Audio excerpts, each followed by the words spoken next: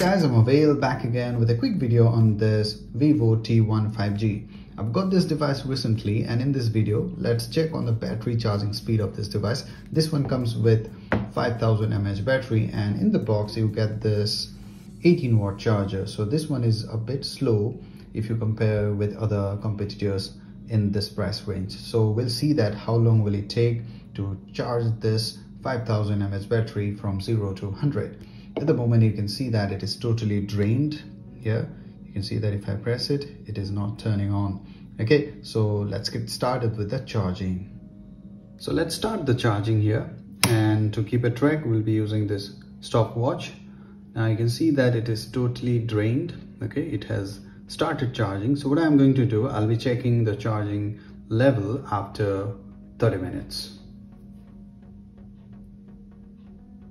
yeah you can see it is one person now. So I'll be back after 30 minutes.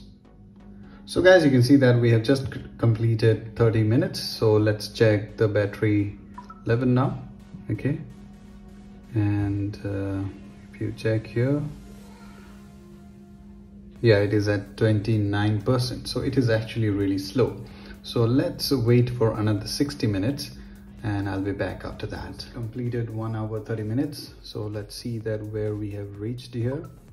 So you can see that we have reached 79%, okay?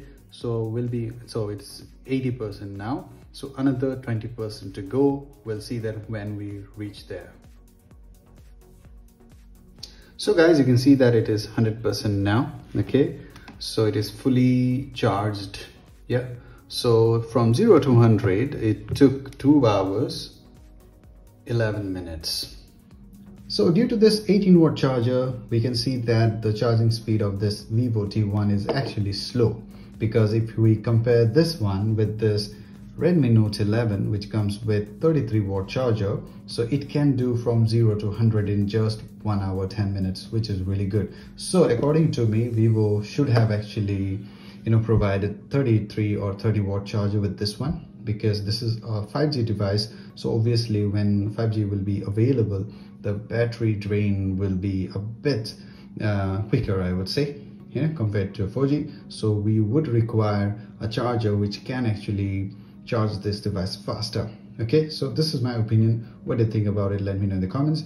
And to watch more videos on it do subscribe. And if you have any questions let me know in the comments. So till the next video guys. Cheers